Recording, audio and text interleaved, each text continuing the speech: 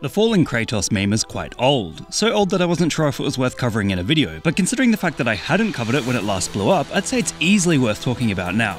If you check Google Trends, you can see that it's peaked so many times. However, the first evidence of it being recognised as a trend I could find seems to stem from YouTube user DanizenKGM on the 1st of May 2020, but if you have evidence of an earlier post, please comment below.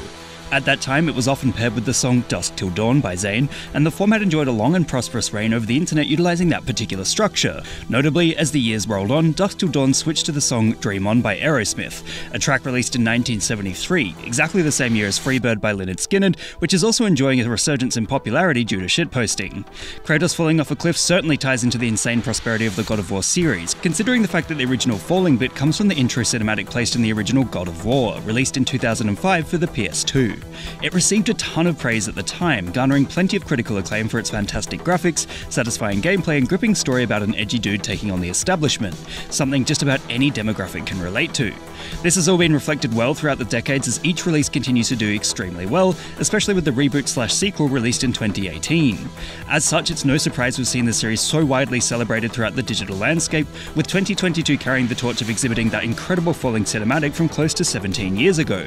It's rare for a game series to continue to have plenty of love and care lavished upon it by developers, but here we are, and this is why we're looking at a character recognizable across generations. It could be argued that it's not only the teenagers or adults of 2005 that played God of War sharing these memes, but also the teenagers and adults of today. Considering the fact that Kratos exists as a Fortnite skin, it's easy to assume that even kids know exactly who he is, and that's okay.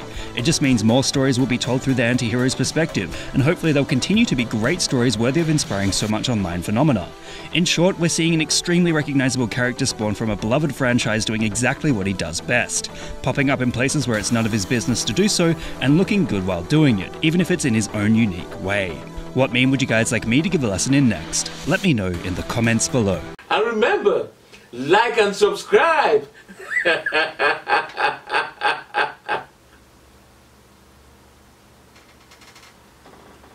or else.